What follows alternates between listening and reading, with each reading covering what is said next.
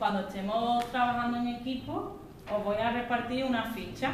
En esta ficha vamos a poner quién va a encargarse de cada cosa, ¿vale? Por ejemplo, hoy que estoy haciendo lo de los géneros literarios.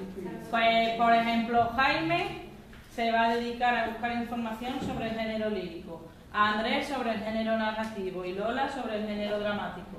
Lo vamos a apuntar aquí y al final de la clase pondremos sin empezar eh, media terminada o terminada.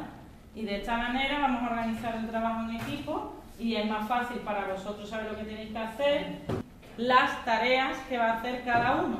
Porque al final veis que de esta manera también estamos en equipo, pero la nota también se puede poner individual, que siempre estáis pensando en eso. ¿Vale? Y así también vemos dónde están los fallos.